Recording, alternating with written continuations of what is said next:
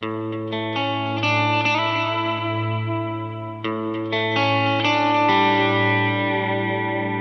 next three hunts, I was guiding some hunters for Ron Lehrer of Western Wildlife Adventures in northern Nevada. Watch closely and you will wonder if they are shooting at the magpies or the bucks.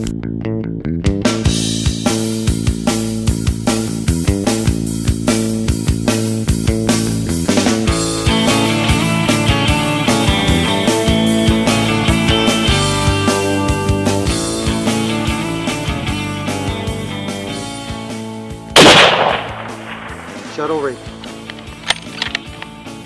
Bottom of his brisket. That was a heck of a shot. First one was just 600, and that next one was probably just right the same. You probably see the magpie. Magpie.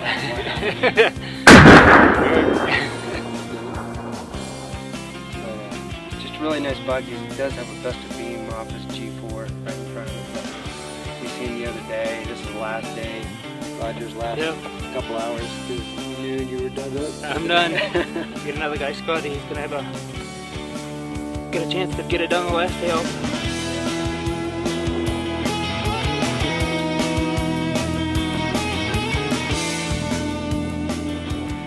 Phew. Doyle had what it took to get the job done the last day.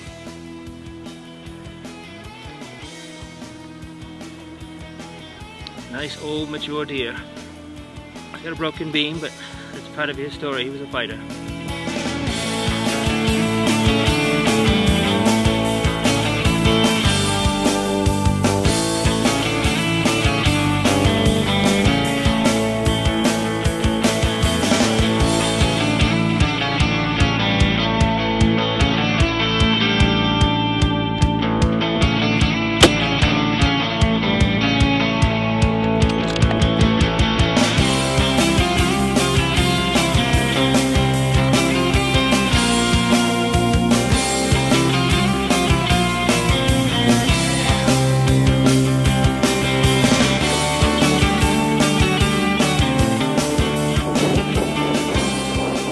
How wide is he? Oh, he's about 26 and a half, somewhere in that neighborhood. Nice buck, last minute, last day. Actually extended it half a day. Right, and then about we got it with about an hour and a half left. As you can see here, Johnny is using my Christian Sonoros 300 Ultra Mag with a Husqvarna scope.